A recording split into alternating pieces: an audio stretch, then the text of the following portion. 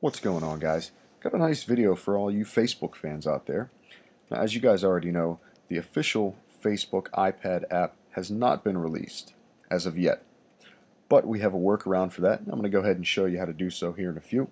I uh, will note that you will need a few things before we get started. First of all, you are going to need a jailbroken iPad. If you guys aren't sure on how to jailbreak your device, go ahead and swing by my channel. I have a few tutorials on how to do so. Uh, once you are jailbroken, go ahead and Cydia, and you're going to search for this package right here. The package is called iFile. Once you have iFile, go ahead and install that. And of course, you are going to want to have your Facebook app installed as well. So once these things are completed, go ahead and click into iFile. And the section that you're going to want to be in is right at the top here. As you can see, var slash mobile.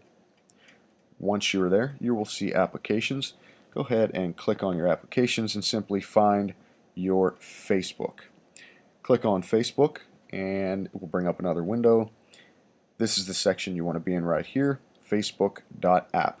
So go ahead and select that and simply scroll down until you see the info plist file. Once you see that, go ahead and click on that and we're going to open that up in text viewer. Now you're going to see a whole bunch of letters, numbers, code, keys, and all that good stuff. Simply scroll down. Uh, I know it's kind of hard to see here on this iDemo, uh, but we'll go ahead and get this uh, situated here. This is where you want to be, towards the bottom where it says UI Device Family. Uh, directly below that, you're going to see an integer, a number 1, and then another integer. I've already done this, uh, so mine has the correct uh, number here for the Facebook iPad app. But yeah, in between the two integers, you're going to see a number 1. To change this to get the full functionality of the Facebook iPad app, simply click up top to where it says Edit. Once you have done that, go right back down to where the integers and the number 1 is. Uh, you can simply tap right by the number 1 or hold your finger down until you get the magnifying glass.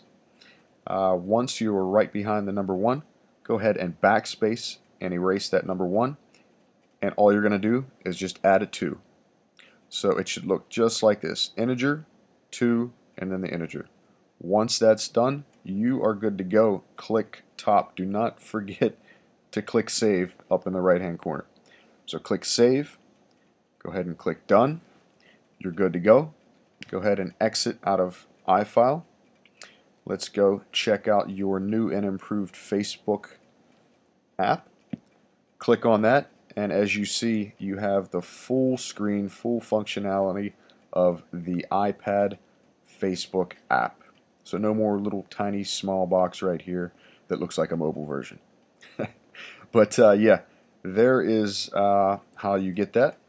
Uh, if you guys like the video, make sure to give me a thumbs up. Leave me some comments down below. Click up top in order to subscribe to be updated on all the latest techs, tweaks, uh, hacks, jailbreaks, iPhone, iPad, iPod Touch, whatever it is. If it's tech, I'm doing it. So uh, yeah, like I said, rate, comment, subscribe. You guys can actually follow me on Twitter, add me to Google+. Links are on my channel page. Until the next video, I'll catch you guys later.